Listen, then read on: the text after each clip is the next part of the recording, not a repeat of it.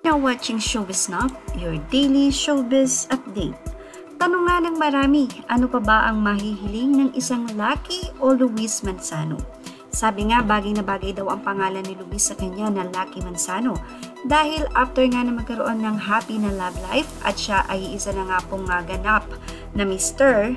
May asawa na siya, walang iba kundi ang kanyang uh, girlfriend before na si Jessie Mediola na kamakailan lamang ay uh, sobrang uh, binulaga nga ang mga fans nila sa revelasyon na sila ay nagpakasal na sa San Benito. Yan po ay sa Batangas din matatagpuan.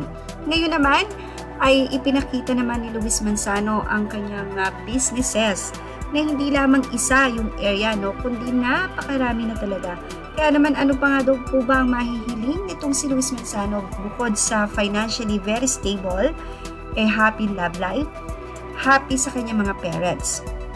Kaya naman very spoiled talaga itong si Jessie Mendiola dahil kung matatandaan nyo, talagang uh, lahat ng gusto ni Jessie, yung kanta, binili ni Luis Manzano for the rights, and then the wedding, uh, Luis Manzano cried. So makikita mo talaga yung overwhelmed happiness na kanya na iniisip niya ano ba yung uh, kanyang ginawa, uh, uh, bakit siya ganitong ka-bless. But anyway, Lucky Manzano is also a good first person kasi talagang nakita natin kung paano rin siya talaga palihim na tumutulong. But anyway, narito nga ang kanyang uh, business na panibagong business na Flex Fuel. So mga makakakita po ng Flex Fuel, ang may-ari po niyan ay si Luis Manzano. So, narito ang mga soft opening ng Flex Fuel kung saan April 15, 2021, Thursday, San Juan, Talihabam, Batangas. Sa April 18 naman ay Balayan, Batangas. April 20, Pinagkawitan, Lipa, Batangas. April 23, Ternate, Cavite. April 25, Santa Rita, Giginto. April 28, Langkiwan, Binyan. And April 30, Guagua. Barangay Amaya 1, Tansa Cavite, Milagrosa, Calamba, Laguna, Bagong Bayan, San Pablo, Laguna, Bagong Bayan, LSPU, Santa Rosa, at uh, Inocencio 13 Martinez Cavite, Dasmariñas Cavite, Lemery Batangas, Santo Tanawan Batangas, packages 5. Yan po ay ang mga last few slots available. Yan po ang uh, naging uh, announcement nitong si Luis sa kanyang Instagram. At narito ang ino-offer ng nasabi nga pong uh, flex fuel na ito ni Luis.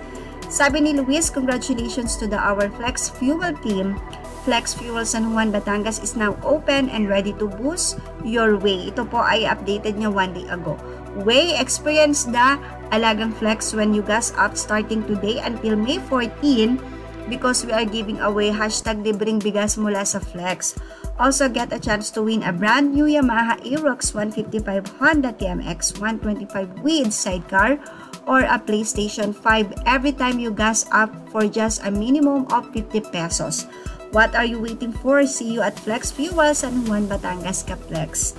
Ah, dahil nga soft opening no, doon sa Batangas, kaya doon sila may mga giveaways. Wow, napaka swerte naman ng mga taga Batangas kasi may chance silang magkaroon ng uh, Yamaha Aerox or kaya naman ay uh, PlayStation 5 na nagkakahalaga ng at I think mga 20,000 pesos mahigit ang halaga ng uh, PlayStation 5. Pero yung Yamaha Aerox 155 Honda eh mahal yan, nasa daang libo ang halaga niyan.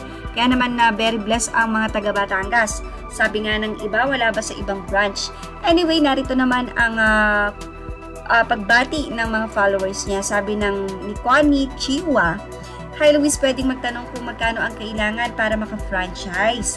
At sabi naman ni Onoy A. Michael, congrats po Mr. Luis Manzano, sana magkaroon din dito sa Manila. Si Transenel, Transenal, congratulations Kuya Luis, iba talaga ang Lucky Manzano, nagbibigay ng hanap buhay, i-bless ka pa ng marami ni Lord. Tama? Kasi kapag ka mas marami siyang branch ng Flex Fuel, mas marami ang mga ngailangan ng trabaho. Kaya naman marami ang matutulungan na magkaroon ng trabaho. And sabi naman itong si Atienza Har Halni, congrats Sir Luis, si Migstred, wow wow, sa hometown ko yan. Sabi ni Rhodes Nye, Hi Mr. Louie, how to avail the packages po and where to inquire. Ang dami kasing lumalabas sa mga social media, nalilito kami how to proceed po. Thank you. Ayan, sana po Mr. Luis Manzano ay may mag-explain ng malinaw para at least ang mga nais mag-franchise or whatever, eh, meron na silang idea, hindi kung kani-kanino nagtatanong. At congratulations, Mr. Luis Manzano, talaga namang iba ka. Super blessed even sa pandemic, no? Eh, marami ka pa rin nga nagiging business. Yan ang ating Showbiz Snap update. Images are all ready to the respectfully owners and thank you for watching Showbiz Snap.